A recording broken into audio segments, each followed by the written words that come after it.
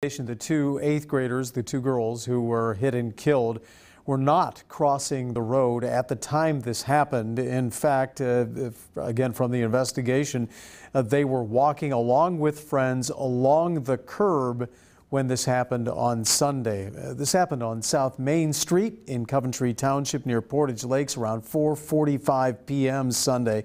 The Summit County Sheriff's Office says the teens who were hit were walking north between the white edge line which they also call the fog line, and the curb. The car that hit them, driven by a 24-year-old North Franklin woman, apparently veered over that white line and hit them. The two girls now officially identified as Amber Toma and Taylor Galloway, both 14, both eighth graders at Coventry Middle School, where counselors, neighborhood churches, and others were available for classmates as they returned to school after a long weekend today. Life is very precious.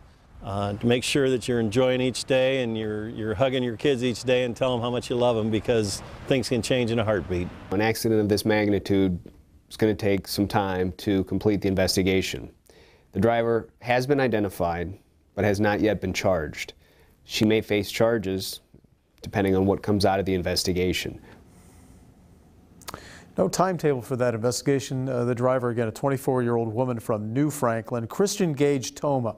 He's the brother of Amber Toma, shared with us that he'd like his sister remembered as outgoing and dedicated to everything that she put her mind to and wanted to accomplish. He added that she was loved by so many people and had so much support through her last very few hours.